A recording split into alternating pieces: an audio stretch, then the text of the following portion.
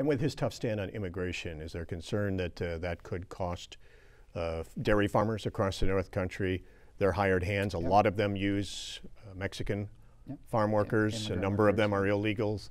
And uh, is there concern that at a time when farmers are already struggling with, sure. with, with low milk prices, that they could be hit with this as well? Yes, and we definitely have to keep an eye on that. They need they need that labor force to keep their businesses viable. So we we definitely need to look at that.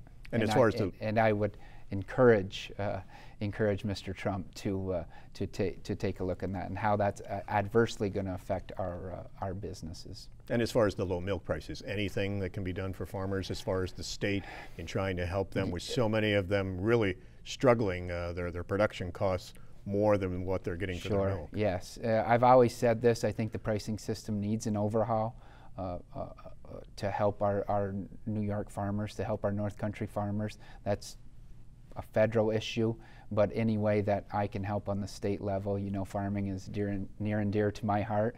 Uh, grew up and actually operated our family dairy farm um, for a while, and uh, you know, we certainly need to help out the farmers any way they can because it's it's it's becoming again uh, a crisis mode for them. And there are a, a number of small farmers that are trying to compete against the really large farms. Yes. Mm-hmm. And, you know, they have 30, 40, 50, 100 cows, and uh, they're, really feeling it. Yes, and that and, and, and unfortunately, through the years, we've seen those small, mid-size uh, uh, dairy farms in our region uh, sell out. They've they've gotten out of business in the in the and they've kind of consolidated into into bigger farming operations. Uh, you know, they acquire the land, they acquire the cattle, in a bigger operation to try to make a, a go of it.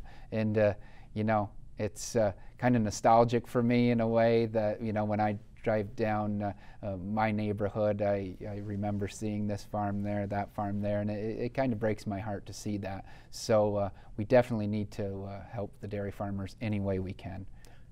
The 115th for generations now has Mm-hmm. been uh, c- a Republican seat. Yep. And uh, you're the first Democrat in a number of uh, years now to, Mm-hmm. to fill the seat. What do you think being a member of the majority in the Assembly is going to uh, do for the North Country? Well, I've always worked across the aisle anyway, uh, Thom. I've always worked uh, with uh, Republicans, Democrats, whatever party affiliation uh, you are. I will continue to do that. Uh, my interests uh, lie with the people of the North Country. They will always be first. The 115th district will always be first for me. Um, but there are some advantages in being in the majority. Uh, you know, maybe a, a, uh, not saying any of my um, my predecessors did did an excellent job, but uh, I will take advantage of some of those uh, advantages in being in the majority.